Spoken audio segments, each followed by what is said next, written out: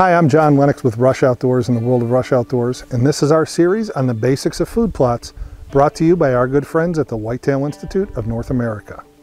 So far in this series, we've talked about things like the proper design and layout of your food plots. We've talked about getting your soil tested to get the pH to the proper level. Well, in this segment, we're going to tackle the million dollar question. What seed do I plant? I call it the million dollar question because there are numerous right answers all depending on the soil type and geographic region that you're going to be planting. Now when I'm getting ready to put in a new food plot, there are some simple questions that I ask myself that help me narrow down my choices. The first question is, can I get equipment to the area that I'm looking to plant?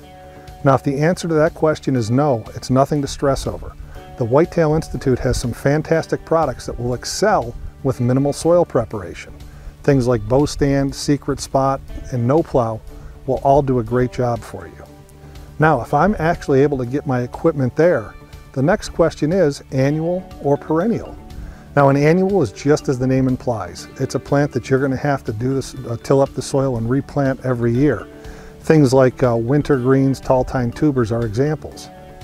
Now a perennial on the other hand is a, uh, a seed blend that if you plant and maintain properly can last you anywhere from three to five years. Things like uh, Imperial Whitetail Clover, Fusion, Alfa-Rack Plus will all do a fantastic job for you.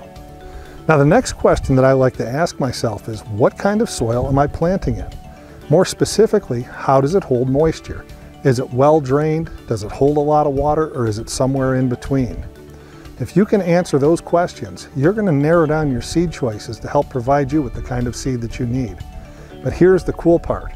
If you go online to www.whitetailinstitute.com and you click on the product selection tab, they're going to take you through a very, very similar exercise that not only is going to help you narrow your choices, but it's going to help make specific recommendations.